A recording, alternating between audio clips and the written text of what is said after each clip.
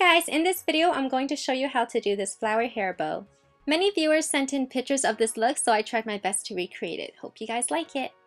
To create this cute flower bow you want to pick up some hair near the front of your face and for the sake of this tutorial I'm just going to clip the rest of my hair aside. Then you want to grab an elastic band that's the same color as your hair or something close to it and you want to wrap the elastic band around your hair twice so that's one and two. Then you want to pull on the ponytail and make sure the elastic band is at the base. So now we're going to create the petals and all you have to do is put a loop of hair through the elastic band like so and then you're going to twist it a couple of times. So now that that loop is secured, you want to put your fingers through the elastic band and pick up your hair again to loop it through to create the second petal.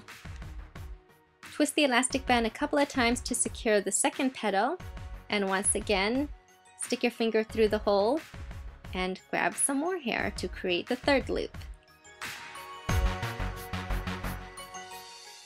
So now you should have something that looks like this. And finally, twist it a couple more times and pick up the very last chunk and this will give you four petals in your little flower hair bow. Okay, so the flowers in the original picture that was sent to me look so perfect and I couldn't get mine to be perfect like that because it was so wobbly. To fix this, I just grabbed a bobby pin and I pinned the base down and voila, problem solved. The fun part about this hairstyle is that you can create these flower bows anywhere on your head. You can even make it go all around your head like a crown. In the original picture, the person actually had it going down diagonally. But since I like side do's, I'm just going to create one more below the first one. Oh, for those of you who want waves without using hot tools, then definitely do this all over your head because at the end of the day when I unraveled it, I had these cute kinks and waves in my hair. So I thought that was pretty neat.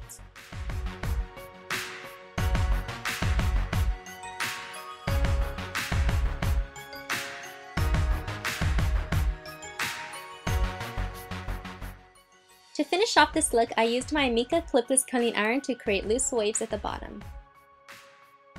Of course you can leave your hair straight for this, but I think curls make it look more fun and playful. When you're done, you should end up with something that looks like this. Well, either this or a giant knot. Let me know if you guys would ever give this hairstyle a try, and thanks so much for watching. Bye! Subscribe to be notified of new videos, and don't forget to check out my other hair tutorials.